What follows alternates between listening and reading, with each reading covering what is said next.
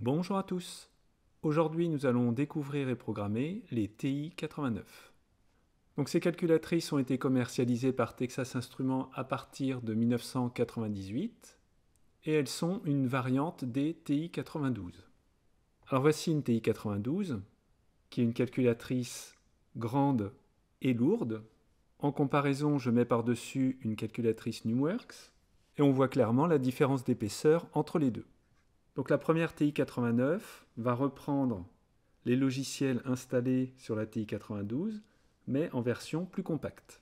On aura ensuite la TI-89 Titanium. Quelques caractéristiques, le processeur est un Motorola 68000 avec une RAM de 256 kg, une mémoire flash qui permet par exemple d'installer d'autres applications, a une capacité de 2 MB sur la première TI-89 et 2,7 mégas sur la Titanium. Cette mémoire flash permet également de faire la mise à jour du système d'exploitation. Par exemple sur celle-ci, on a le système 3.1 de 2005. Uniquement une fiche jack sur les premières TI-89, fiche jack et mini USB sur les Titanium. L'écran fait 100 par 160 pixels, il est donc plus petit que sur les TI-92, avec la possibilité de représenter des fonctions, des suites, des courbes en 3D, comme vous le voyez actuellement à l'écran, ou des courbes paramétriques. Côté programmation, on a le TI Basic, qui est un langage proche du Pascal, ou la possibilité de programmer en assembleur en utilisant le logiciel officiel TI Flash Studio ou équivalent. Donc malgré que ces calculatrices aient une vingtaine d'années, elles restent encore très intéressantes puisqu'elles sont capables de faire du calcul formel, c'est-à-dire de manipuler des objets mathématiques, faire des développements, des factorisations ou des calculs exacts, de dérivés et de primitives. Ça explique pourquoi plusieurs livres sont sortis sur ces machines-là, en particulier pour des étudiants qui étaient au lycée ou en classe préparatoire. Ce logiciel de calcul formel est une variante du logiciel Derive. D'ailleurs, Texas Instruments a racheté la société qui avait développé Derive en 1999. Le point négatif de cette machine est qu'elle n'a pas de mode examen et donc, dans certains pays, y compris la France, elle peut être interdite pendant les examens. Alors vous pouvez retrouver ces machines qui à l'époque coûtaient entre 150 et 200 euros à moins de 30 euros sur des sites de petites annonces. Alors si vous n'avez pas de TI-89 mais que vous voulez faire les mêmes manipulations que moi, plusieurs possibilités. La première est d'aller sur ti89simulator.com, je vous mets le lien sous la vidéo, donc il n'y a rien à installer. Ou alors, vous installez un émulateur sur votre téléphone Android et vous trouverez la ROM nécessaire sur le site de TI Planet. À nouveau, tous les liens seront sous la vidéo. Si vous utilisez ce simulateur, vous avez la possibilité d'agrandir l'écran et le clavier en vous mettant au milieu, vous descendez tout en bas, vous remontez et vous faites la même chose pour l'écran. Tout en haut et vous redescendez. Donc la position des touches va bien entendu être différente que sur une vraie calculatrice, mais l'ensemble est parfaitement fonctionnel.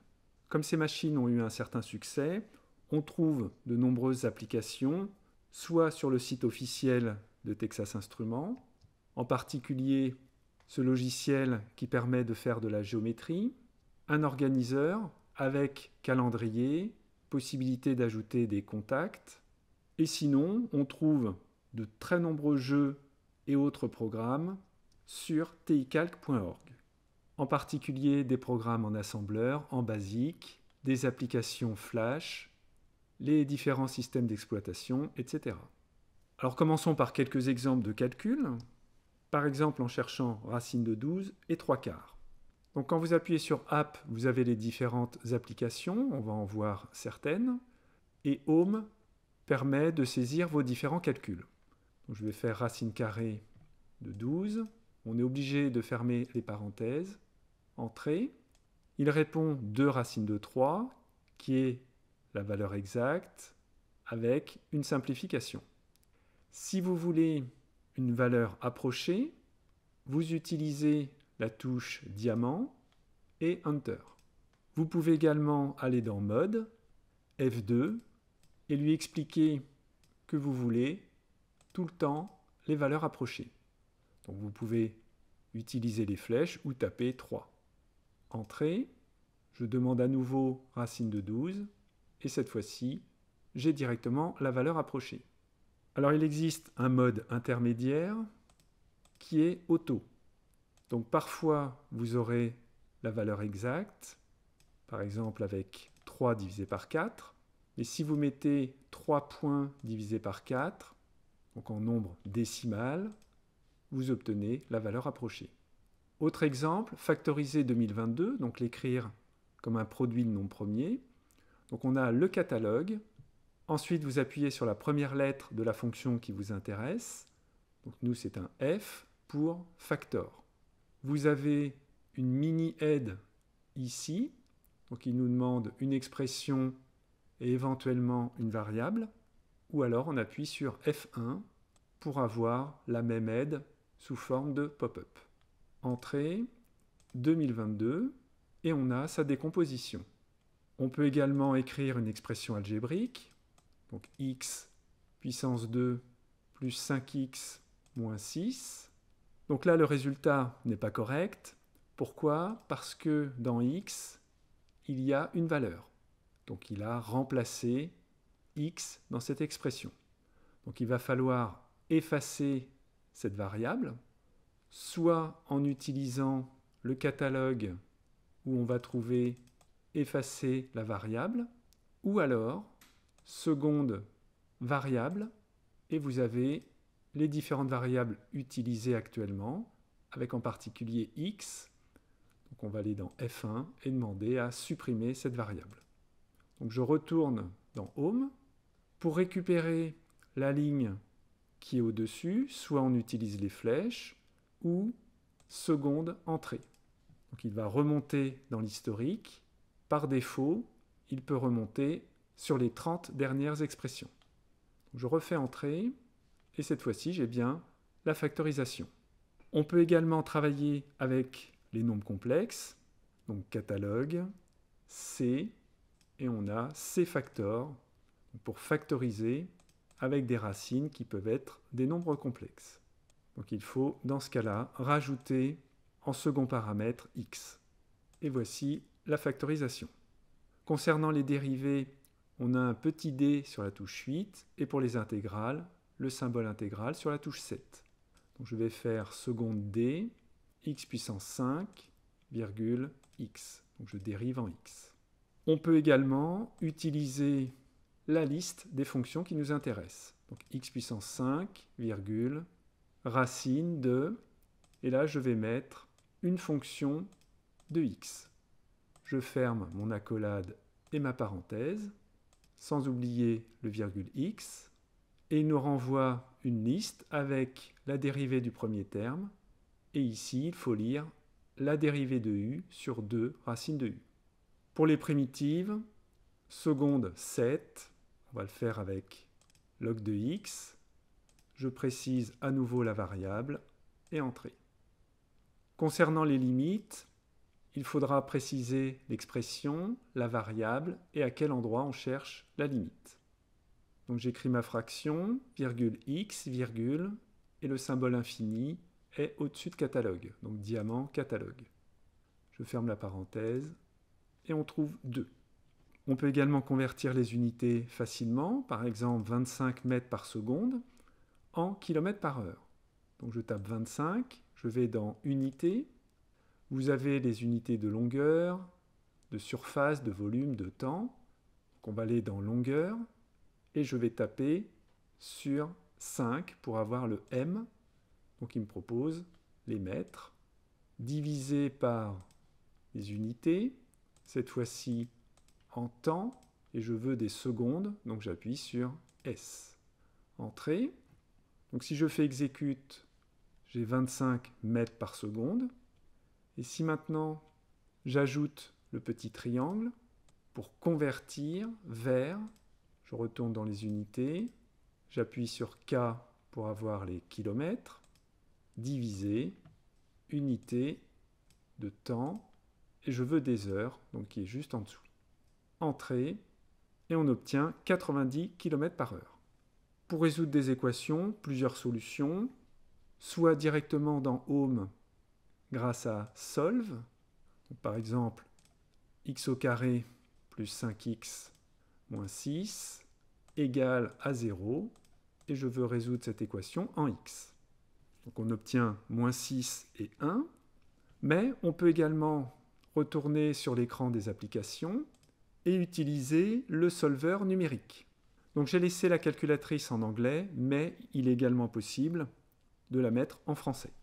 Donc je lance le solveur numérique, je tape mon équation, x2 plus 5x moins 6 égale à 0. Il me demande l'intervalle où il doit chercher, ce qui est embêtant lorsqu'il y a plusieurs solutions. Donc on va lui demander à faire dans une autre fenêtre le graphique. J'ai ma parabole qui est ici, et je vais, avec F5, choisir 0, donc pour savoir où sont les racines. Et plus précisément, je vais lui dire de chercher entre cet endroit-là et par exemple moins 5, 52. Et il va retrouver moins 6. Donc pour retourner dans l'autre fenêtre, on fait seconde application, donc on a le petit symbole au-dessus. On peut changer les bornes ou lui demander à résoudre l'équation. Donc si je fais F2, il va trouver 1 qui est l'autre solution. Et si je remets par exemple moins 8 et moins 5, à nouveau F2, cette fois-ci j'ai bien le moins 6. Donc on peut s'aider du graphique pour trouver directement les zéros ou le minimum, maximum, des points d'intersection entre deux courbes, etc. Alors voyons sur cet exemple comment on peut créer une fonction assez sophistiquée qui va nous permettre de calculer la somme des chiffres d'un nombre. Par exemple, avec 1, 2, 3, 4, 5, 6, on veut le résultat 21 qui correspond à la somme des chiffres qui composent ce nombre. On va se créer une fonction récursive, c'est-à-dire que pour calculer la somme des chiffres de 1, 2, 3, 4, 5, 6, on va prendre l'unité, donc le 6, et ajouter la somme des chiffres de 1, 2, 3, 4, 5. Et dire que si le n est plus petit que 10, alors la somme des chiffres de ce chiffre, c'est lui-même. Donc on va obtenir quelque chose comme ça, avec renvoyer x si x est inférieur ou égal à 9, sinon récupérer l'unité, c'est-à-dire le reste de la division du nombre par 10, plus la somme des chiffres en ayant divisé le nombre par 10, en prenant la partie entière. Alors je sors de l'écran partagé en faisant F3 Clear Graph et je retourne dans Home. Je vais enlever tout ce que j'ai fait avant, F1 effacer Home. Donc pour définir cette fonction avec une condition, on va utiliser when c'est-à-dire quand x est inférieur, donc vous avez le symbole inférieur et supérieur ici, mais si vous faites diamant inférieur, vous obtenez le symbole inférieur ou égal. On peut également l'avoir dans seconde maths, où on va retrouver les fonctions sur les nombres, sur les listes, sur les matrices, donc beaucoup de choses intéressantes pour des étudiants à l'université ou en prépa, les nombres complexes, et vous avez les tests, avec ici inférieur ou égal. Donc lorsque le nombre est plus petit ou égal à 9, on va renvoyer x. Sinon, je retourne dans maths, nombre, 9 pour modulo, x,10, plus, et je vais appeler la fonction donc alpha s, alpha c, donc somme des chiffres, de la partie entière. Donc soit on retourne dans maths, où on bloque le mode alphabétique, et on peut utiliser le clavier. Donc IN, et le T est ici avec XYZT. J'enlève le mode alpha, point 1 X, je ferme les parenthèses, et je stocke cette fonction dans somme des chiffres, parenthèse x. Vérifions en tapant SC avec 1, 2, 3, 4, 5, 6, entrée, et on a bien 21. Alors passons au programme Syracuse. Je rappelle rapidement, on a en entrée un nombre. Lorsque ce nombre est impair, on le multiplie par 3 et on ajoute 1, sinon on le divise par 2. On s'arrête lorsque l'on arrive à 1 et on affiche le maximum que l'on a obtenu et le temps de vol. Alors on va voir différentes versions. La première est d'utiliser la représentation graphique d'une suite et la table associée. Donc dans Mode, je vais lui dire qu'on est en train d'étudier des suites, donc sequence, entrée. Et lorsque vous allez dans Y égale, vous pouvez définir des suites U1, U2, U3, etc. Donc on va refaire notre when en lui expliquant que lorsque le reste de la division du terme précédent par 2 c'est égal à 1, donc lorsque le nombre est impair, on va multiplier le terme par 3 et ajouter 1. Sinon, on prend le terme précédent et on le divise par 2. Il me demande quel est le premier terme de la suite, je vais taper 27. On peut alors définir la fenêtre graphique, voir le graphe, définir les paramètres de la table et voir la table. Donc je vais commencer par définir la table qui va démarrer à 1 et aller de 1 en 1 et lui demander à voir la table. Donc on a 27, on multiplie par 3 et on ajoute 1, on obtient un nombre pair, on divise par 2, etc. Je vais aller dans Windows, je règle les différents paramètres. n va aller de 1 jusqu'à 112, qui va être le temps de vol pour 27, x entre 0 et 112, y entre 0 et 9300, et je demande à voir le graphe. Donc par défaut, il va nous mettre des petits carrés. Si on veut un autre type d'affichage, on retourne dans y égale. Donc je vais changer carré en ligne. Je retourne dans graphe et j'obtiens cette version. Deuxième technique, c'est d'utiliser l'éditeur de texte. Donc je retourne dans Application, Texte Editor. Je vais appeler ce texte CIR pour Syracuse. Entrée. Et là, vous pouvez donc taper du texte. Par exemple, valeur initiale. Donc pour avoir les majuscules, vous utilisez cette flèche. Et sinon, le alpha pour les minuscules. Et ce qui est intéressant, c'est F2 qui va permettre de lancer une commande. Donc on va demander à l'utilisateur de taper une valeur. Donc je vais dans Catalogue, i, Input, et cette valeur, on va la mettre dans UI1, qui est la valeur initiale de la suite U1. Ensuite, je peux taper à nouveau du texte. Je vais mettre rang voulu. Donc pour avoir un point d'interrogation je vais dans seconde char, ponctuation, et on retrouve le point d'interrogation. À nouveau, ça va être une commande où on va faire un input n, et on va lui demander de calculer U1 au rang n. Je vais faire U1, parenthèse, n. Bien entendu, on pourrait avoir un scénario plus compliqué. Alors on va se remettre au début et on va exécuter les différentes lignes une à une avec F4. Donc F4, F4. Donc on voit qu'il a basculé dans Home et il me demande un nombre. je vais mettre 27. Ensuite, il passe à la commande suivante. Donc ce qui peut être plus intéressant, c'est d'appuyer sur F3 et lui demander à nouveau à faire une séparation. Donc comme ça, je vois mon script et en dessous, la fenêtre Home.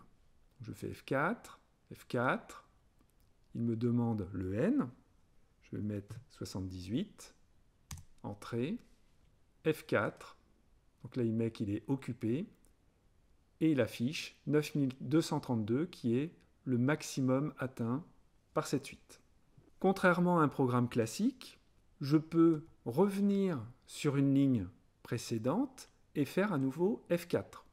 Il va me demander une autre valeur, par exemple 10, F4, et cette fois-ci m'affiche la dixième valeur de la suite. Donc pour terminer, voyons comment on peut taper un programme, donc soit directement sur la machine, ou alors en utilisant un ordinateur avec TI Connect pour transférer le programme sur la calculatrice. Donc j'ai déjà tapé le programme que j'ai appelé Syracuse.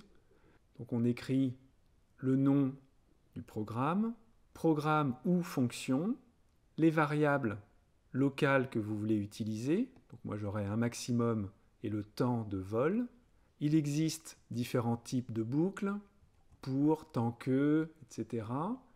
Et également des labels. Donc j'ai mis ici label choix où la personne va choisir la donnée initiale. On peut créer des boîtes de dialogue. Donc on commence par dialogue et on termine avec end dialogue où il y aura un titre, conjecture de Syracuse, du texte, donnée initiale, et une zone de saisie n égale avec la variable petit n. On va faire un test. Si la personne n'a rien écrit dans la zone ou si en convertissant n en expression, c'est-à-dire si je retourne dans Home et que je prends expression, imaginons que la personne ait tapé 2 plus 3 dans la zone de saisie, on obtiendra 5. Donc si cette expression est inférieure ou égale à 0, on va afficher ce nombre n'est pas valide et on retourne au label choix. Donc on n'oublie pas end if puisqu'on avait un if. Sinon, on convertit la zone de saisie en vraie valeur que je mets dans n. Le maximum vaut n pour l'instant, le temps de vol est à 0 et on a une boucle tant que n est plus grand que 1. Si le reste de la division de n par 2 vaut 1, alors on multiplie par 3, on ajoute 1, sinon on divise par 2. Et c'est la nouvelle valeur de n. Pour le maximum, on aurait pu faire un test avec if. J'ai mis ici tout simplement le maximum entre le maxi précédent et n, qui va dans maxi. Le temps de vol augmente de 1. C'est terminé pour la boucle temps que. Et on va afficher une petite fenêtre avec max égale. On convertit en chaîne le maximum en faisant la concaténation, le caractère 10 pour un retour à la ligne, le temps de vol avec à nouveau le temps de vol converti en chaîne. Et c'est la fin du programme. Donc je vais retourner dans Home. Pour lancer le programme, je peux faire par exemple seconde variable, rechercher le programme Syracuse en appuyant plusieurs fois sur 3 pour avoir les lettres S, entrée, je ferme ma parenthèse et j'exécute. Donc j'ai bien ma boîte de dialogue avec le titre, données initiales et il me demande le N. On pourrait rajouter des menus déroulants, etc. Alors si je tape 2, il va me proposer R, parce que par défaut, on sera en mode alphabétique. Donc je suis obligé de faire alpha et taper 27. Entrée, entrée, il est occupé, et à la fin, il m'affiche cette boîte de dialogue avec le max et le temps de vol. Donc voilà un bref survol des TI-89 qui, à mon avis, restent encore aujourd'hui d'excellentes machines. À bientôt!